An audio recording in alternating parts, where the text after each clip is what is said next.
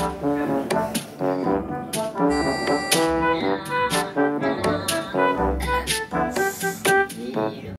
October, and you know what that means. Spooky month, what? But let's be honest, spooky season starts in August, and no one can tell me otherwise. That's when I start getting hype and when the Halloween aisles start popping up in stores. Right next to the Christmas aisle. Ho, ho, ho. More like no, no, no. Get your ornaments and candy canes out of here. Only pumpkins and skeletons allowed until November. But yes, I love Halloween. It's been my favorite holiday for a long time. I love everything about it the movies, pumpkin carving, the decorations, candy, trick or treating, but especially the costumes. I love dressing up as other characters. It's so fun. As a kid, I even had two costumes per year. Because my elementary school always did a Halloween party thing where they filled the cafeteria with games and built a haunted house, and all the kids would come and run around and get candy in their costumes. So I would usually be one thing for that, and then another thing for trick or treating. Some of my early costumes were Care Bear, a butterfly, a fairy, Silver Mist from Tinkerbell, a knight, just to name the ones I can remember. According to my mom, I was also Tinkerbell and possibly Tigger. But around fifth grade, I think it was, is when they started to get interesting because I developed a love for making my own costumes. It all started a long time ago in a galaxy far, far away when my dad had just showed me, you guessed it, Star Wars. And I decided I wanted to be Darth Vader. But we didn't just scurry on down to a Spirit Halloween and pick me up a Darth Vader onesie looking thing. No, no, no. With a dad who's a techie and a sister who owns a sewing machine, we decided to craft me up the best Darth Vader costume ever. My dad made his chest piece thing with working lights, and my sister made the cape, and we got a mask that wasn't a cheap piece of plastic. What is that? I had black leather gloves, a lightsaber. We made these bits out of cardboard. It looked amazing. I actually still have the costume. It's right here, but of course it doesn't fit me. The mask is still wearable though.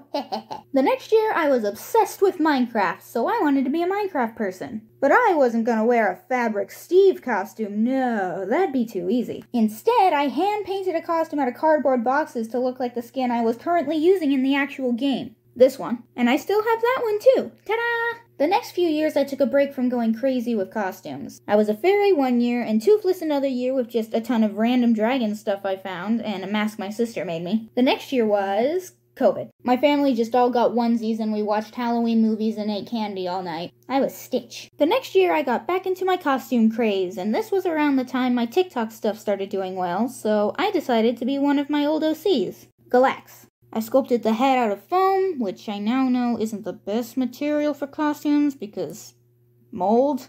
But it's not like I was gonna wear it a lot, so it was fine. I also used way too many bottles of acrylic paint on her horns and eye. To anyone watching who wants to make their own costumes, do not use acrylic paint on anything flexible. It'll crack and just not look good after one use, I know from experience. Anyway, I liked that costume a lot, but since it was my OC, no one got it, and it was very awkward to explain to anyone who asked. I still have it though. See, there she is, just chillin'. And then we get to last year, my favorite costume yet.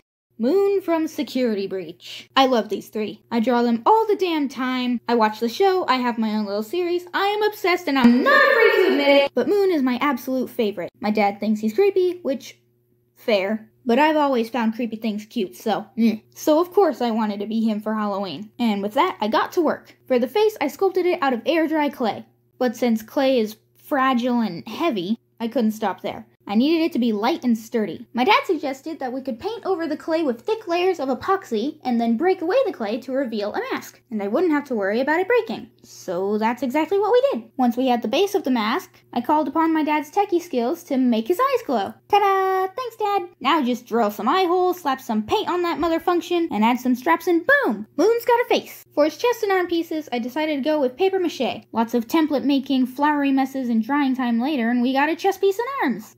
Zipper, bells, body parts done. Now for his clothing. I got parachute pants and a blue hat off Amazon and painted stars on with fabric paint. The pants ended up being teal, not blue, but close enough, I'll fix it another year. For his skirt and frills, I got some blue fabric and just tried my best. And yes, I know his skirt is red, but again, maybe another year. Close enough. A few final touches later, and boom, you got Moony. I was so happy with this costume. I love it so much. I got a lot of compliments on it, along with some funny kid interactions. The only thing about it is I can't see very well at all with the mask on. The eye holes are two little slots between his mouth and nose, and I can only see straight in front of me. I tripped on curves a lot.